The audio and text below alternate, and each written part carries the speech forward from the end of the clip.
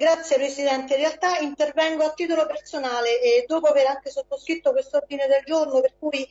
di cui ringrazio il collega Figliomeni eh, per averlo portato e proposto eh, perché eh, come lui ha ben rimarcato la questione farmaca è stata una delle prime che abbiamo affrontato in commissione ma è stata anche una eh, delle prime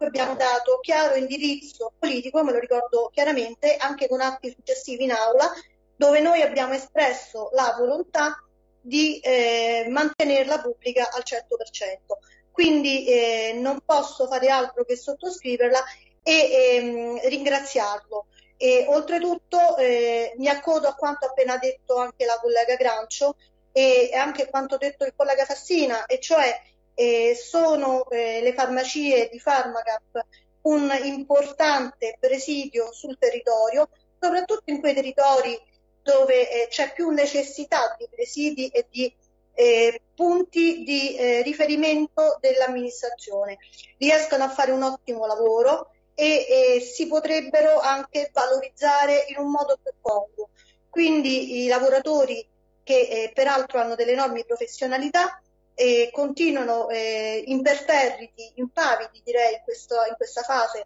il loro eh, lavoro e loro, eh, la loro presenza sui territori e anche se lo fanno con enorme difficoltà, con enorme difficoltà perché non sanno mai quale sarà il loro futuro. Ecco, io credo che queste persone non se lo meritano, non se lo merita neanche la città di Roma perché le farmacie Farmacap sono veramente quanto eh, di, di, meglio noi possiamo avere come partecipata per quanto mi riguarda. E, e quindi il mio sarà un voto decisamente favorevole. Grazie Presidente.